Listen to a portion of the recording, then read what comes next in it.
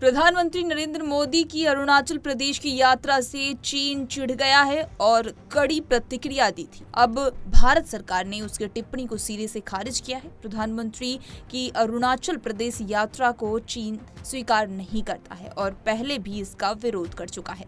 PM Modi ने अपनी यात्रा के दौरान कई डेवलपमेंट प्रोजेक्ट्स के साथ सेला सुरंग का उद्घाटन किया था।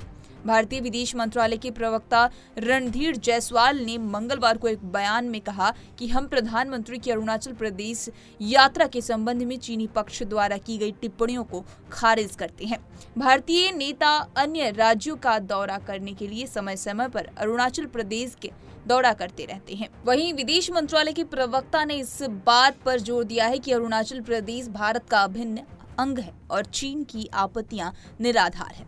उन्होंने आगे कहा कि ऐसी यात्राओं और भारत के इंफ्रास्ट्रक्चर प्रोजेक्ट्स पर आपत्ति करना उचित नहीं है। अरुणाचल प्रदेश राज्य हमेशा भारत का अभिन्न और अविभाज्य हिस्सा रहा है और हमेशा रहेगा। वहीं आपको बता दें कि चीनी विदेश मंत्रालय के प्रवक्ता वांग वैनबिन ने प्रधानमंत्री मोदी को यात्रा पर एक सवाल के जवाब में कहा था कि जंगनान का क्षेत्र चीनी क्षेत्र है। चीनी सरकार ने भारत द्वारा अवैध रूप से स्थापित तथा कथित अरुणाचल प्रदेश को कभी मान्यता नहीं दी है और उसका पुरजोर विरोध करता है। लंबे समय से चीन अरुणाचल प्रदेश पर अपना दावा करता है और इस इलाके को दक्षिणी तिब्बत कहता है। साथ ही भारत भी अरुणाचल प्रदेश पर दावा करता है कि बीते कुछ सालों में यहाँ कई इंफ्रास्ट्रक्चर प्रोजेक्ट्स लॉन्च किए गए हैं, जिसमें सेला सुरंग भी शामिल है।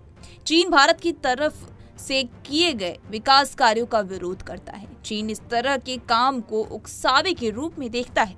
हर मौसम में अरुणाचल प्रदेश की कनेक्टिविटी बनाए रखने को ध्यान में रखते हुए सुरंग बनाए गए हैं, जिससे इसकी सुरक्षा भी सुनिश्चित की जा सकेगी। अरुणाचल प्रदेश में भारतीय गतिविधियों का चीन ने पहली बार विरोध नहीं किया है। पहले भी कई मौके पर चीनी नेताओं ने भारत के खिलाफ बयानबाजी की है।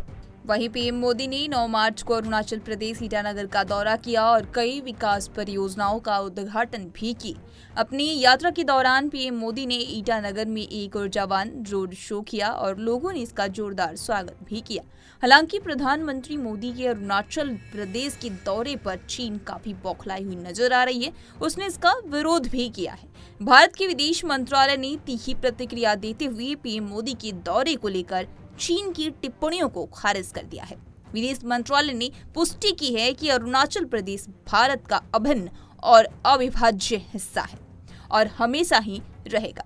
चीनी सरकार ने कभी भी अरुणाचल प्रदेश को भारतीय राज्य के रूप में मान्यता नहीं दी थी। जैसे कि मैंने पहले भी कहा है कि अरुणाचल प्रदेश को वो अपना देश मानता है, यानी कि उसे जंग नान नाम देता है और तिब्बत क्षेत्र मानता है। हालाँकि भारत ने कई मौके पर चीनी पक्ष को भारत के राज्य के प्रति लगातार रुख से अवगत करवाया है।